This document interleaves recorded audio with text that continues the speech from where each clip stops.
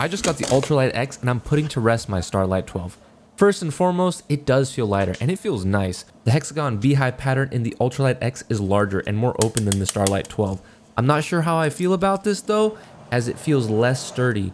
The wheel scroll is larger, and from the initial feel, I like it over the Starlight 12. Side buttons feel the same, and I like the design of both. The new mouse is USB-C, which is freaking awesome. The cord, however, lost the security it had plugged in unlike the last one, but hey, it's wireless, who cares. The new dongle is cool, it lights up. Uh, my one gripe though is that when I plug it in, my DPI wasn't set. Unlike my old mouse, this new one doesn't have a dedicated DPI button.